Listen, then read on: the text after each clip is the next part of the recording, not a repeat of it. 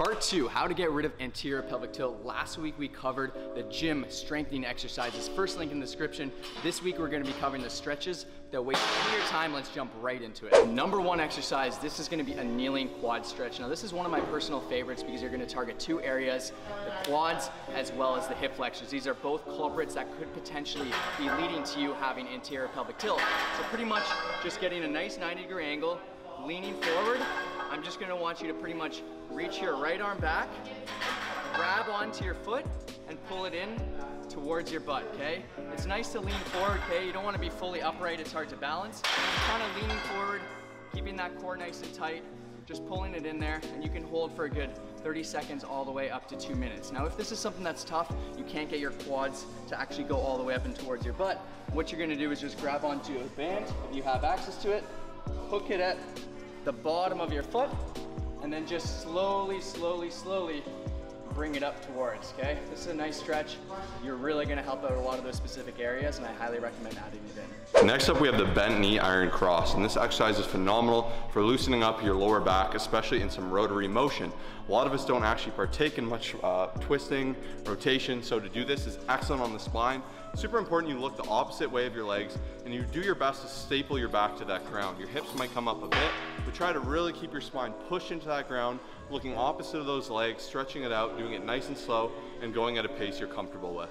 A very, very important one is gonna be the reclining angle bound pose. Now this one's super important and the main thing I wanna get across is that it's not gonna work if you're actually keeping your lower back up. You're gonna have to make sure that you're literally driving your lower back into the ground, helping you with the pelvic tilt and keeping that core super, super tight. As you can see on the screen here, this is what you're not supposed to do okay? So bringing your soles in to touch together, driving your knees down, this is gonna be great for loosening up the hips, but also practicing the right motion that you should be in throughout the day. So give this one a try, 30 seconds to two minutes, it's gonna feel great and it's gonna do wonders for you. Four, coming at you with another back stretch. As you can see me doing here is cat-cow, which we did mention these in the last video, but I'm so passionate about these that you should do them more and more. It's so important you really work on mobility of the spine, and this way you're getting great extension and contraction of the spine, while really working on moving all the vertebrae. Really focus on separating each vertebrae one by one as you extend, then you as contract, and make sure it's in line with your breathing.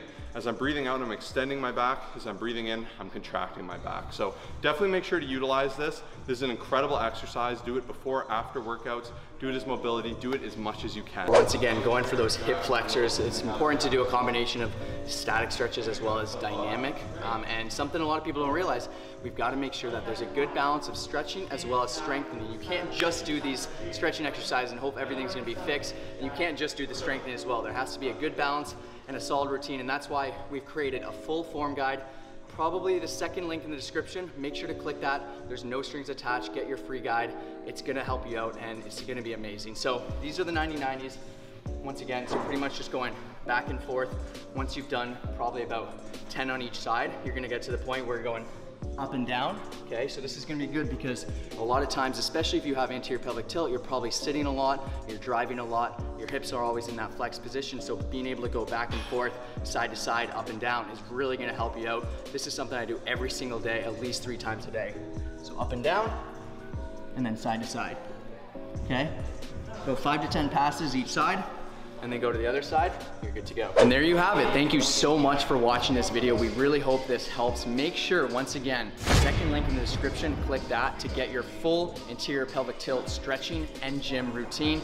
Absolutely free, no strings attached. If you're new to the channel, hit that like button, subscribe, take a look at all our other content. I feel like you'll find it very effective and useful. We'll see you in the next video. Peace.